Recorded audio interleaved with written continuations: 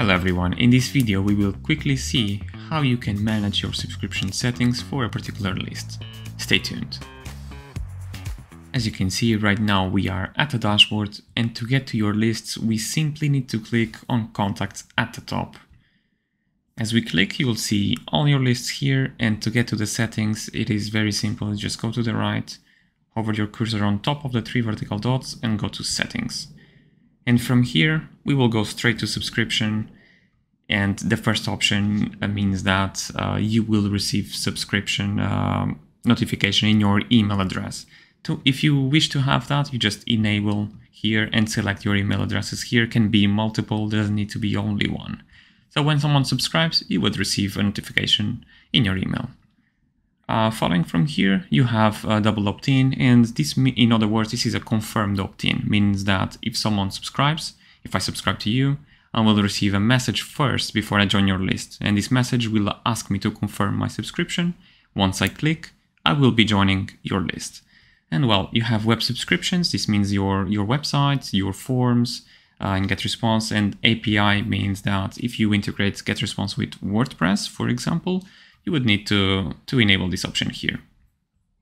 Uh, about blocking subscriptions, uh, this is specifically if you have uh, an HTML form uh, that you built uh, perhaps here in our uh, forms here, the old forms that we had, and you didn't know exactly where you placed this HTML form and some people are subscribing through it and you don't know what's happening. They look like bot subscriptions to you you simply click here to enable and this will uh, disable uh, subscriptions from, from those forms.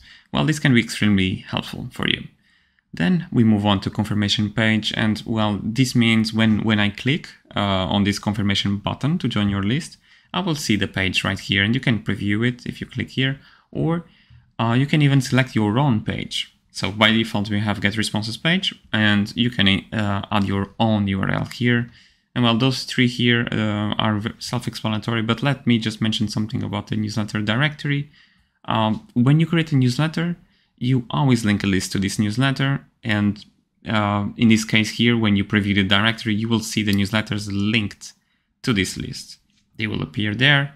About indexing to search engines, uh, this means that if you toggle this on, uh, your uh, newsletters they will be uh, can be found in Google, for example. And as you can see, I toggle I, I toggled on, but if I turn it off, you will see notification mentioning exactly that.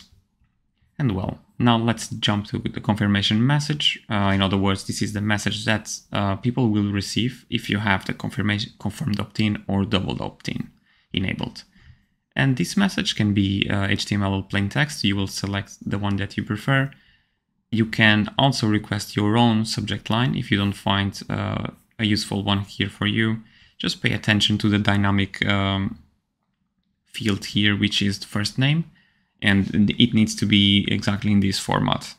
We will, uh, once you click here, you can write your own, and then it will be checked and uh, either approved or disapproved, and you will see a reason for that.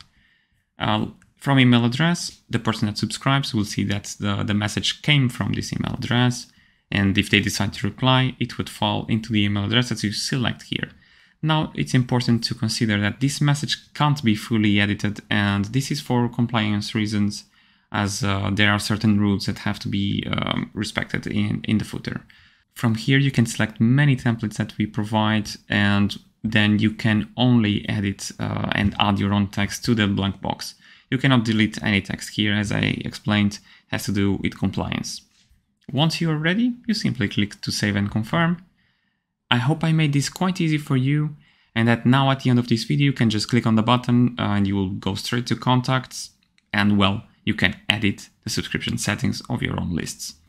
I will now go ahead and I'll see you in the next video.